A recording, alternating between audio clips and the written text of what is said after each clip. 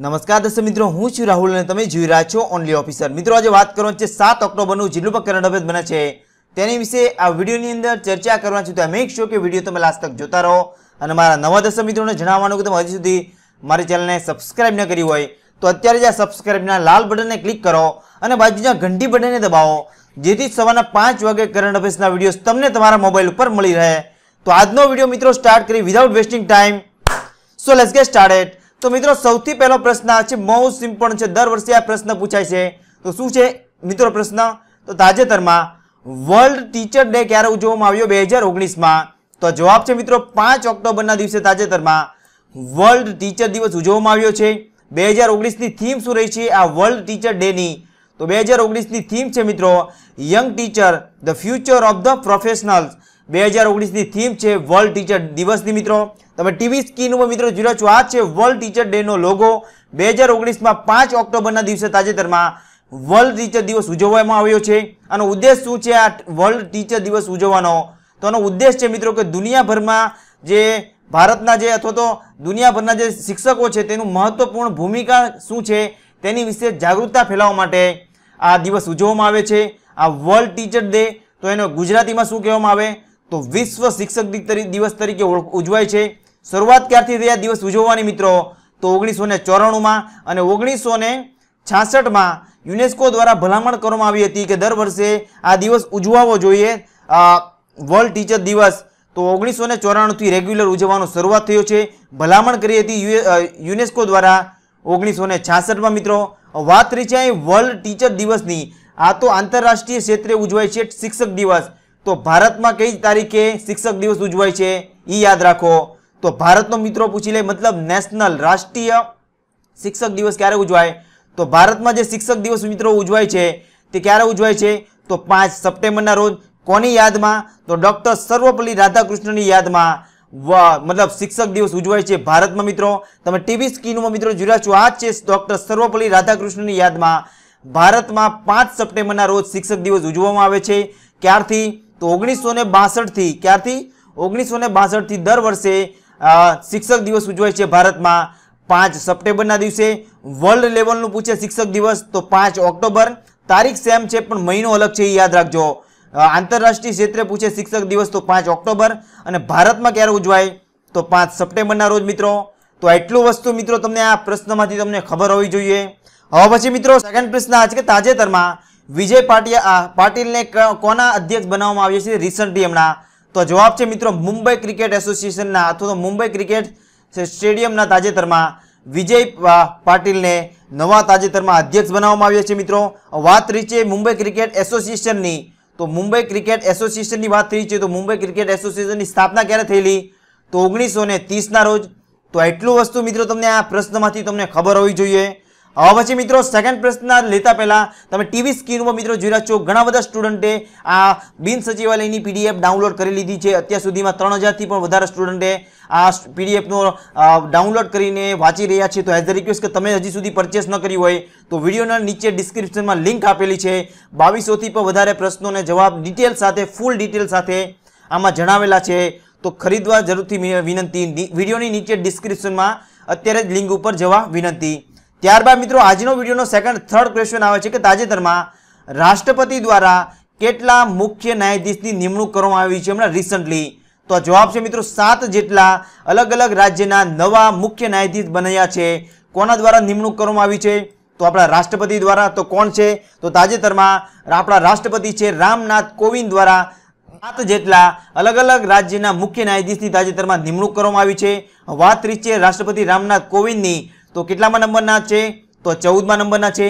તેનું જન્મસ્થળ શું છે? રામનાથ કોવિંદનું, મિત્રો. તો ઉત્તર પ્રદેશનો તેનો જન્મ થયો છે. વાત રહી છે ટોટલ સાત જેટલા મુખ્ય ન્યાયાધીશની નિમણૂક કરવામાં આવી છે અલગ અલગ રાજ્યમાં. તો કયા કયા છે એ પણ યાદ રાખજો. ઉચ્ચ ન્યાયાલયના મુખ્ય ન્યાયાધીશ બન્યા છે. તો કોમ્પિટિટિવ એક્ઝામમાં આ પ્રશ્ન જરૂરથી આવશે. તો કયા કયા રાજ્યના, કયા કયા મુખ્ય ન્યાયાધીશ બન્યા છે? તો રાજસ્થાનના મુખ્ય ન્યાયાધીશ કોણ બન્યા છે? તો ઇન્દ્રજીત મોહતી, મિત્રો. ત્યારબાદ કેરળના કોણ બન્યા છે? તો એસ મણિકુમાર, મિત્રો. ત્યારબાદ ગુવાહાટીના કોણ બન્યા છે? તો અજય લાંબા. ત્યારબાદ હિમાચલ પ્રદેશના કોણ બન્યા છે? તો લિંગપ્પા નારાયણ સ્વામી મિત્રો. અને સિક્કિમ રાજ્યના કોણ બન્યા છે? તો અરૂપ કે ગૌસ્વામી બન્યા છે. ત્યારબાદ પંજાબ અને હરિયાણાના કોણ બન્યા છે? તો રવિશંકર ઝા મિત્રો. અને ત્યારબાદ સાતમા નંબર પર આવે છે આંધ્રપ્રદેશના કોણ બન્યા છે? તો જે કે મહેશ્વરી મિત્રો.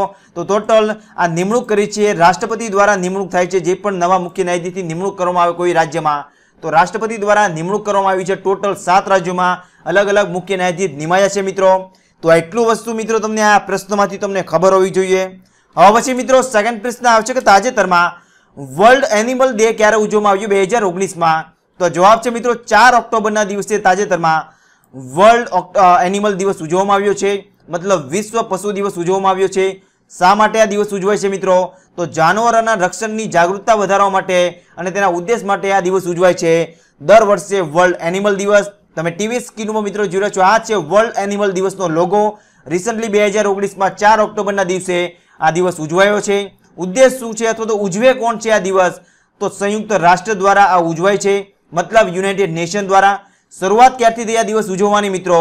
તો ઓગણીસો ને પચીસમાં જર્મનીના સ્પોર્ટ પેલેસમાં ઉજવવાની શરૂઆત થઈ છે અને રેગ્યુલર ત્યારબાદ ઉજવવાની શરૂઆત થઈ છે. ચાર ઓક્ટોબર ઓગણીસો ને ઓગણત્રીસથી દર વર્ષે ચાર ઓક્ટોબરના દિવસે વર્લ્ડ એનિમલ દિવસ ઉજવાય છે મિત્રો. હવે પછી મિત્રો સેકન્ડ પ્રશ્ન છે કે તાજેતરમાં ભારતનું સૌપ્રથમ પ્લાસ્ટિક રહિત બાસ્કેટબોલ કોર્ટ કઈ જગ્યાએ બન્યું છે રિસન્ટલી હમણાં? તો જવાબ છે મિત્રો મુંબઈમાં બનેલું છે. મુંબઈમાં કઈ જગ્યાએ? તો બાંદ્રા વલ્લી સીલિંગ પાસે આ બનેલું છે. ભારતનું સૌપ્રથમ પ્લાસ્ટિક રહિત બાસ્કેટબોલ. કોર્ટ મિત્રો? વાત રહી છે બાસ્કેટબોલની. તો બાસ્કેટબોલમાં ટોટલ કેટલા ખેલાડી હોય છે? તો એક ટીમમાં પાંચ ખેલાડી હોય છે બાસ્કેટબોલમાં. હવે પછી મિત્રો સેકન્ડ પ્રશ્ન છે કે તાજેતરમાં વર્લ્ડ એથ્લેટિક ચેમ્પિયનશિપમાં કોણે ગોલ્ડ મેડલ જીત્યો છે રિસન્ટલી તો જવાબ છે મિત્રો ચારસો મીટરની દોડમાં રિસન્ટલી કયા દેશની? તો બહેરીન દેશે તાજેતરમાં એક છોકરી છે સલવા ઇન નાસેર નામની એક મહિલાએ. ચારસો મીટરની દોડમાં ગોલ્ડ મેડલ જીતીને વર્લ્ડ એથ્લેટિક ચેમ્પિયનશિપમાં તાજેતરમાં એક રેકોર્ડ બનાવ્યો છે. તમે ટીવી સ્ક્રીન ઉપર મિત્રો જોઈ રહ્યા છો, આ છે બહેરીન દેશની સલવા ઇન નાસેર. ચારસો મીટરની રેસમાં ગોલ્ડ મેડલ જીતીને ઇતિહાસ રચ્યો છે. કયા દેશની ખેલાડી છે? તો બહેરીન દેશની ખેલાડી છે મિત્રો. આયોજન કઈ જગ્યાએ થયું છે આ વર્લ્ડ એથ્લેટિક ચેમ્પિયનશિપનું? તો કતારના દોહામાં મિત્રો, કઈ જગ્યાએ આ કયા સ્ટેડિયમમાં જીતેલો છે આ ગોલ્ડ મેડલ? આ સલવા ઇન નાસેરે તો ખલીફા ઇન્ટરનેશનલ સ્ટેડિયમ જે કતારના દોહામાં આવેલું છે, જ્યાં ચારસો મીટરની દોડમાં વર્લ્ડ એથ્લેટિક ચેમ્પિયનશિપમાં ગોલ્ડ મેડલ જીતીને રેકોર્ડ બનાવ્યો છે સલવાઈન નાસેરે મિત્રો. હવે પછી મિત્રો સેકન્ડ પ્રશ્ન આવે છે કે તાજેતરમાં ભારતની સૌપ્રથમ મહિલા કોણ બની, જેણે ટી ટ્વેન્ટી સો જેટલી મેચ રમી છે? મોસ્ટ સિમ્પલ છે ભારતની, અત્યાર સુધીમાં કોઈ પણ મહિલાએ સો જેટલી ટી ટ્વેન્ટી મેચ રમી નથી. તો કોણ છે? તો હરમનપ્રીત કૌર તાજેતરમાં ભારતની સૌપ્રથમ એવી મહિલા બની છે, જેણે સો જેટલી ટી ટ્વેન્ટી રમીને ઇતિહાસ રચી દીધો છે. અત્યાર સુધીમાં કોઈ પણ ભારતીય મહિલાએ સો જેટલી ટી ટ્વેન્ટી રમી નથી. સૌપ્રથમ મહિલાએ જીતી આ રમી છે. હરમનપ્રીત કૌર, તમે ટીવી સ્કીનોમાં મિત્રો રહ્યા છો. આ છે હરમનપ્રીત કૌર તાજેતરમાં સૌપ્રથમ ભારતની એવી મહિલા બની છે, જેણે સો મે ટી ટ્વેન્ટી મેચ રમવાવાળી મહિલા. તેનું જન્મસ્થળ શું છે? આ હરમનપ્રીત કૌરનું તો પંજાબના મંગામાં તેનો જન્મ થયો છે. અત્યાર સુધીમાં પુરુષે કેટલા ટીમ મેચ રમી છે? તો મહેન્દ્રસિંહ ધોની અને રોહિત શર્માએ અત્યાર સુધી ટોટલ અઠ્ઠાણું જેટલી મેચ રમી છે. તો સૌપ્રથમ ઇતિહાસ રચ્યો છે. અત્યાર સુધીમાં કોઈ પણ મહિલાએ સો જેટલી ટી ટ્વેન્ટી રમી નથી ભારતમાં. તો એકમાત્ર મહિલા બની છે. તેનું નામ જરૂરથી યાદ રાખજો. કોમ્પિટેટિવ એક્ઝામમાં જરૂરથી પ્રશ્ન પૂછાશે. તો હરમીનપ્રીત કૌર મિત્રો. હવે પછી મિત્રો સેકન્ડ પ્રશ્ન આ છે કે તાજેતરમાં ભારતની સૌપ્રથમ પ્રાઇવેટ ટ્રેન કઈ જગ્યાએ શરૂ થઈ છે રિસન્ટલી મોસ્ટ ઇમ્પોર્ટન્ટ છે. અત્યાર સુધીમાં કોઈ પણ પ્રાઇવેટ ટ્રેન તાજેતરમાં ખાનગી ટ્રેન બની નથી આ પ્રકારની. તો સૌપ્રથમ ભારતમાં આ બનવાવાળી ટ્રેન કઈ છે? તેનું નામ શું છે? તો રિસન્ટલી તેજસ નામની ટ્રેન ભારતની સૌપ્રથમ પ્રાઇવેટ ટ્રેન મતલબ ખાનગી ટ્રેન તાજેતરમાં બની છે. ક્યાંથી ક્યાં સુધી ચાલશે આ તેજસ નામની ટ્રેન? તો લખનૌથી ન્યૂ દિલ્હી સુધી આ ચાલવાની છે પ્રાઇવેટ ટ્રેન. તેનું નામ છે તેજસ નામની ટ્રેન. તાજેતરમાં યોગી આદિત્યનાથ દ્વારા હરિઝંડી આપીને આની શરૂઆત કરી છે. આ ટ્રેન ક્યારથી શરૂ થઈ જશે તો છ ઓક્ટોબરથી આ બધા નાગરિકો આનો યુઝ કરી શકશે. આ ટ્રેનની ખાસિયત શું છે મિત્રો? તો આની ખાસ વસ્તુ એ છે કે જો ટ્રેન થોડીક પણ એક સેકન્ડ અથવા તો એક મિનિટથી બે મિનિટ જો મોડી પડશે, તો ટિકિટના પૈસા પાછા મળી જશે તેવી જાહેરાત કરી છે ઉત્તર પ્રદેશના મુખ્યમંત્રી યોગી આદિત્યનાથ દ્વારા. અને આ પ્રાઇવેટ ટ્રેન છે, તેજસ નામની. તમે ટીવી સ્ક્રીનમાં મિત્રો જોઈ રહ્યા છો, આ છે. તેજસ નામની ટ્રેન તાજેતરમાં ભારતની સૌપ્રથમ પ્રાઇવેટ ટ્રેન મતલબ ખાનગી ટ્રેન બની છે, જે લખનૌથી ન્યૂ દિલ્હી સુધી ચાલવાની છે. અને આની હરિઝંડી આપી છે તાજેતરમાં ઉત્તર પ્રદેશના મુખ્યમંત્રી યોગી આદિત્યનાથ દ્વારા. તેની ઝડપ શું છે આ ટ્રેનની તો એકસો કિલોમીટર અઠવાડિયામાં ટોટલ છ દિવસ ચાલશે. આ તેજસ નામની ટ્રેન મિત્રો, આની ટોટલ જવાબદારી કોને સોંપવામાં આવી છે? આ પ્રાઇવેટ ટ્રેનની. તો આઈઆરસીટીસીના હાથમાં સોંપવામાં આવી છે. ટોટલ જવાબદારી, વાત કરી છે આઈઆરસીટીસીની. તો તેનું ફૂલ ફોર્મ શું થશે? ઘણીવાર કોમ્પિટિટિવ એક્ઝામમાં મિત્રો ફૂલ ફોર્મ પૂછી લેશે. તો શું છે? તો Indian railway catering and tourism corporation IRTC આઈઆરસીટીસીનું full form છે. સુવિધા શું છે? આની ખાસ વાત શું છે? આ પ્રાઇવેટ ટ્રેનની તેજસની. તો આ ટ્રેનની અંદર રેસ્ટોરન્ટ વાઈફાઈ અને વિમાન જેવી સુવિધાઓ હાઈ પ્રોફાઇલ સુવિધાઓ આપવાની જાહેરાત કરી છે. અને આમાં તમે જોઈ રહ્યા છો, તમે ટીવી સ્ક્રીન ઉપર આ પ્રકારની વિમાન જેવી સુવિધા આપી રહી છે. આ તેજસ નામની ટ્રેન તાજેતરમાં યોગી આદિત્યનાથ દ્વારા તાજેતરમાં લખનૌથી ન્યૂ દિલ્હી સુધી ચાલશે તેવી હરિઝંડી તાજેતરમાં આપેલી છે. તમામ પ્રકારની સુવિધાથી લસ લેસ છે આ તેજસ નામની ટ્રેન મિત્રો, જે ભારતની સૌપ્રથમ ખાનગી મતલબ પ્રાઇવેટ ટ્રેન બની છે રિસન્ટલી છ ઓક્ટોબરથી બધા જ વ્યક્તિઓ આની યુઝ કરવાનું શરૂ કરી દેશે મિત્રો. હવે પછી મિત્રો સેકન્ડ પ્રશ્ન છે કે તાજેતરમાં ગુજરાતના કયા જિલ્લામાં પોસ્કો એક્ટના કેસ માટે એક સંસ્થા બની છે? તો એક કેન્દ્ર બનાવવામાં આવ્યું છે. તો જવાબ છે મિત્રો, ગાંધીનગર જિલ્લામાં તાજેતરમાં પોસ્કો એક્ટ અંતર્ગત એક કેન્દ્ર બનાવવામાં આવ્યું છે ગુજરાતના ગાંધીનગર જિલ્લામાં મિત્રો. શું છે આ પોસ્કો એક્ટ? તો સ્પેશિયલ કોડ બનાવવામાં આવી છે, જે બાળકોની જાતીય સંતામણી થાય છે, તેને માટે રક્ષણ માટે, બાળકોના હિતમાં કાર્ય કરવા માટે આ પોસ્કો એક નામનો એક સ્પેશિયલ કોડ બનાવવામાં આવી છે ગુજરાતમાં. ગાંધીનગર જિલ્લામાં મિત્રો, તાજેતરમાં જાહેરાત કરી છે ગુજરાતના ચીફ જસ્ટિસ ઓફ ગુજરાત. વિક્રમનાથે જે પચીસમા નંબરના ગુજરાતના ચીફ જસ્ટિસ ઓફ ગુજરાત છે તેણે જાહેરાત કરી છે. પોસ્કો નામની એક એક્ટ છે તેને ધ્યાનમાં રાખીને સ્પેશિયલ કોડ બનાવવામાં આવી છે. જે બાળકો સાથે જે ગેરવર્તન થાય છે અથવા તો બાળકો સાથે જે શોષણ થાય છે સેક્સ્યુઅલ હરસમેન્ટ થાય છે, તેની સામે રક્ષણ આપવા માટે આ કોડ બનાવવામાં આવી છે ગાંધીનગર જિલ્લામાં મિત્રો. વાત રહી છે પોસ્કો નામની એક એક્ટ છે. તો એનું ફૂલ ફોર્મ શું થશે? ઘણીવાર કોમ્પિટિટિવ એક્ઝામમાં મિત્રો પૂછી લેશે. તો પોસ્કોનું ફૂલ ફોર્મ શું છે? તો protection of the children from sexual offence આનો પોસ્કોનું ફૂલ ફોર્મ છે. બાળકો સાથે ગેરવર્તણૂક અને યૌન શોષણ સામે રક્ષણ મેળવવા માટે આ સ્પેશિયલ કોડ બનાવવામાં આવી છે ગુજરાતના ગાંધીનગર જિલ્લામાં. આ કાયદો ભારતમાં ક્યારે લાગુ થયો? આ પોસ્કો નામનો. તો બે હજાર બારથી લાગુ થયો છે. વાત કરી છે તાજેતરમાં જાહેરાત કરી છે ગુજરાતના chief justice of Gujarat Vikramnath દ્વારા. તો ગુજરાતના પચીસમા નંબરના તાજેતરમાં ચીફ જસ્ટિસ ઓફ ગુજરાત છે વિક્રમનાથ. તો ગુજરાતના સૌપ્રથમ ચીફ જસ્ટિસ ઓફ ગુજરાત કોણ હતા?